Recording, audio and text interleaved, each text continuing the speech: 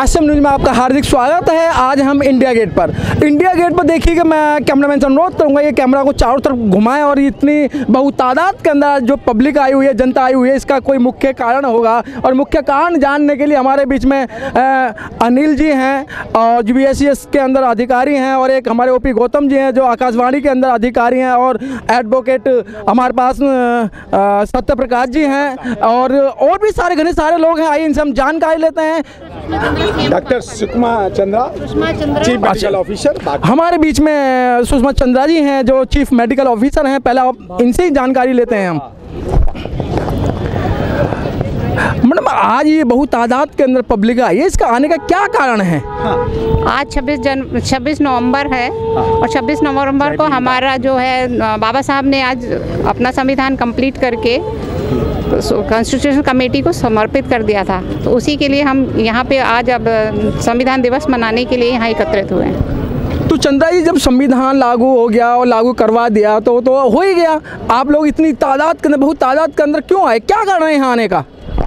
हमारे बाबा साहब हमारे लिए गौरव की बात है उन्होंने देश का इतना अच्छा कानून व्यवस्था और सब इतनी अच्छी संविधान लिखा जो दुनिया का सर्वश्रेष्ठ संविधान है हम उसको मनाने के लिए यहाँ इकट्ठा हुए हैं और हम, हर साल जब तक हम लोग ज़िंदा हैं और आगे भी हमारी कई जनरेशन जब तक हम इसको कैरी ऑन करेंगे कि जब तक ये अ, हमारे यहाँ ये जाति पात नहीं मिट जाते हमें समानता अधिकार नहीं मिल जाता तब तक हम ये कॉन्स्टिट्यूशन दिवस मनाते रहेंगे बाबा साहब की याद में।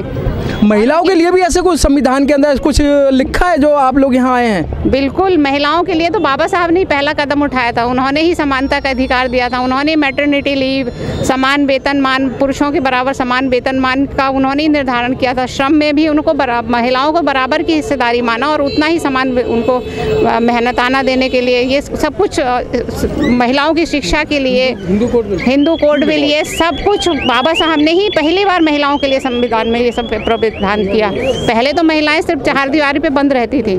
शिक्षा का कोई तो साधन नहीं था। आज तो महिलाओं की आज़ादी का दिन है। इसे तो हम बहुत अच्छे से सेलिब्रेट करेंगे। तो आज आज इसे आप त्योहार के रूप में मना रहे हैं पिकनिक पिकनिक के रूप में मना रहे हैं? त्योहार के रूप में। पिकनिक तो एक दिन की होती है। हमारे बीच में बीएससी के अधिकारी अनिल कुमार जी भी हैं। सर क्या कारण है इतनी बहुत तादाद के अंदर आप अधिकतर नीले वस्त्र पहनकर आए हैं? तो आप इससे क्या दर्शाना चाहते हैं? मान्यवर जय भीम। सबसे पहले एसएम न्यूज़ को धन्यवाद कि आज इंडिया गेट पर राजपथ पर, आप इस चैनल के द्वारा हम सभी मूल निवासी बहुजनों को और भारत के सभी लोगों को जो यहाँ पे आए हुए हैं, पिकनिक मनाने आए हैं, आज का दिन भारत की सचमुच आज़ादी का दिन है। आज के दिन डॉक्टर बाबा साहब अंबेडकर ने भारत को संविधान दिया था, महिलाओं की आज़ादी दी थी, वोट का अधिकार महिलाओं को दिया था, महिलाओं और इस देश के मूल निवासी बहुजनों को ही नहीं, सभी नागरिकों को, आज भारत के सभी नागरिकों को,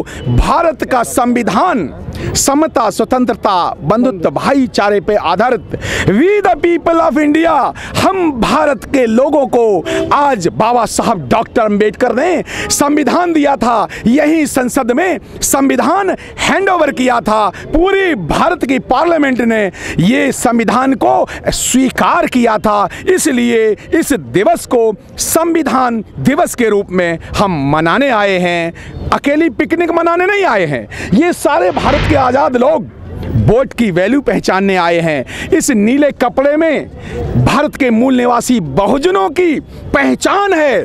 ये इसलिए हम सभी का अभिनंदन करते हैं, स्वागत करते हैं। और सबसे बड़ा मुबारकबाद 26 नवंबर का दिन महिलाओं की आज़ादी का दिन है, जो डॉक्टर अंबेडकर ने, बाबा साहब अंबेडकर ने दिया था उनको अधिकार।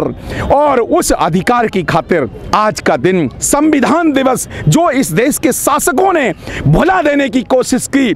26 नवंबर का दिन आज हम मनाने आए हैं, जय भीम करने आए हैं, पूरे देश को, भारत को हम ये बताने आए हैं कि संविधान दिवस ही एक तरह से आज़ादी दिवस है। इसलिए हम आए हैं। ओपी गौतम जी आज के ही दिन शायद बाबा साहब ने और उस कॉन्स्टिट्यूशन के अंदर लिखा था कि आज मैं वो किताब या आज मैं वो संविधान दे रहा हूँ कि आज के ही दिन मैं उस रानी के पेट का ऑपरेशन करूँगा और कर दिया है। जो रानी के पेट से राजा पैदा होता था अब रानी के पेट से नहीं अब वैलिड पेपर से होगा। क्या ये सत्य है? ये सत्य है आचार्य कृपलानी जी ने बाबा साहब को पूछा कि आज बड़े खुश दिखाई दे रहे हो।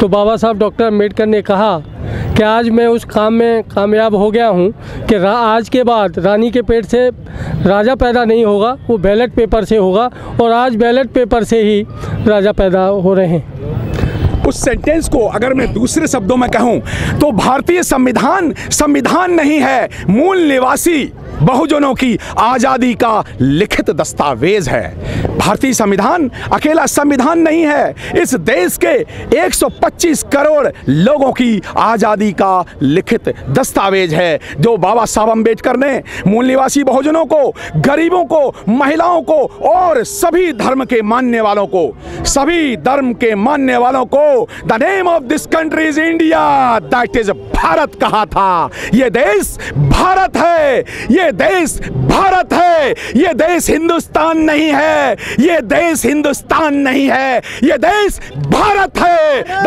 भारत की माता नहीं ये भारत है। भारत माता बाता नहीं है। क्योंकि जैसे ही हम माता कहते हैं तो पिता ढूंढना पड़ेगा। तो फिर पिता कौन हुआ? ये देश भारत है और भारत वर्ष है।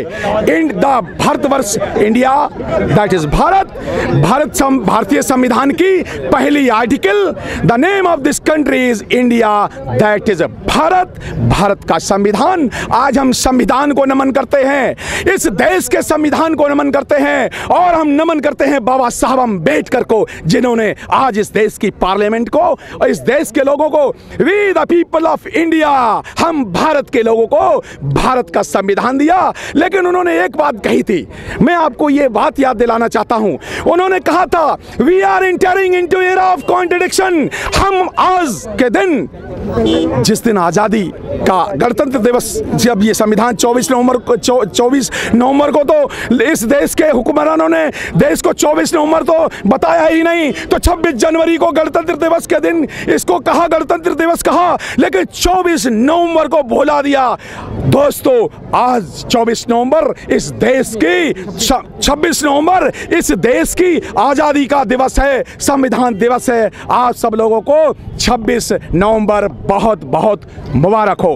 आज 26 नवंबर है आज इसको बड़ी आज 26 नवंबर है संविधान दिवस के रूप में मना रहे हैं। संविधान एक कानून को कहा जाता है। आप एक डॉक्टर हैं आपने पीएचडी करी है और अधिवक्ता भी हैं। क्या संविधान आज खतरे में है? सभी लोग मन से बोलते हैं आज संविधान खतरे के अंदर है। तो वकील साहब का क्या कहना है? देखिए सबसे पहले मैं बता दूँ कि सभी कानूनों को संविधान नहीं कहा जाता।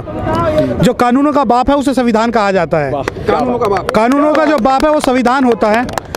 और हक परस्ती में जब कभी रायशुमारी होगी वहाँ सबसे पहले आवाज़ हमारी होगी। संविधान को बदलने की जब बात है जो धर्म के नाम पर लड़ने की बात करते हैं जो धर्म के नाम पे लड़ने की बात करते हैं बात बात पे संविधान बदलने की बात करते हैं जिनकी औकात नहीं है भूखे को रोटी खिलाने की वो संविधान बदलने की बात करते हैं। तो संविधान किसी के बाप की बपोती नहीं।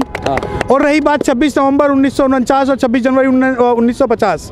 मैं आपको बता देना चाहता हूँ कि 26 जनवरी 1950 को पूरा भारत कांग्रेस के लाहौर अधिवेशन का जश्न बनाता है ना कि संविधान दिवस मनाता है।